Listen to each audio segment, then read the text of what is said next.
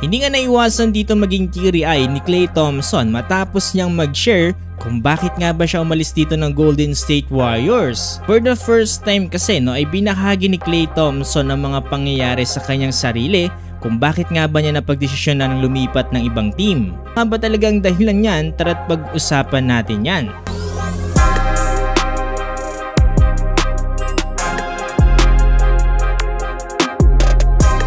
Since 2011 nang simulan mag-draft itong si Klay Thompson ay talagang sa Golden State Warriors na talaga siya nahubog. Dito na siya unti-unting nakilala ng mga tao at dito na rin siya unti-unting na-develop kasama ng kanyang ka-splash brother na si Stephen Curry. Naman itong nakarang summer ay talagang marami ang nagulat matapos niyang mapagdesisyonan na umalis na ng Golden State Warriors at iwan na nga ang dynastiya nila. Tapos dalawang taon na rin simula na mag-struggle itong si Klay Thompson dito nga para sa Golden State Warriors. Ayon sa kanya, hinahayaan niya daw yung mga tao na pumasok sa kanyang isipan at diktahan yung kanyang ginagawa dito nga sa loob ng court.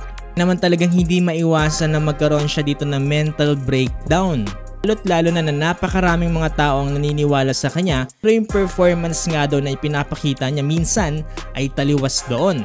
Sabi niya no, wag daw nating hahayaan na maka-impluensya yung ibang tao sa ating isipan at sirain yung pagmamahal natin sa larong basketball. Grabe no halos maging tiri ay nga dito si Klay Thompson matapos niyang ibahagi itong kwento na ito. Napaka-importante pa rin talaga no, yung mga mental health ng mga players dahil magiging malaking epekto talaga to sa kanilang mga game. At panoorin natin ang sinabi dito ni Klay.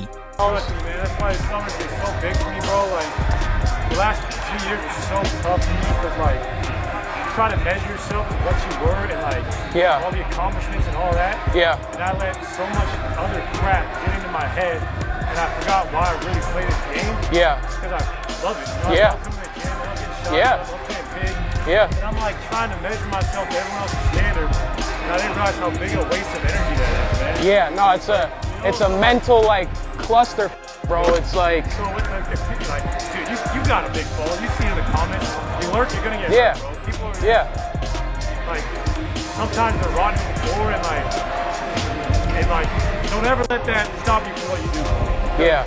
I feel like that impeded what I was great at last. So I had like, at the end of the day, I look back like, oh, I still played a phenomenal brand of ball. Like, you have Yeah. 18 a game and Yeah. 39% from Yep, three in yep, the league. yep. Like, I'm not gonna let someone tell me that's not great. Like, Yeah. you would No. tell me that as an 18 year old, I'd be like, hell yeah.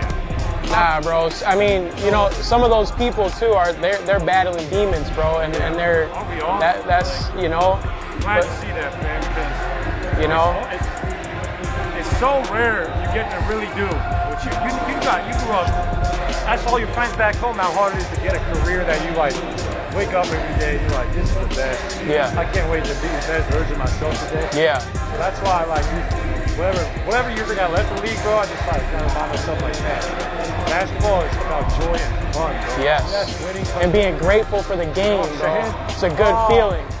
It's a good feeling, bro. man. It's a I- great I, feeling. I sense that from you and your crew, man. Yeah. guys genuinely love basketball. Hell yeah, bro. Yes, sir. I love it, man. It's my blood. You know, my dad did it, my brothers do it. Yeah. But uh, great seeing you, man. You too.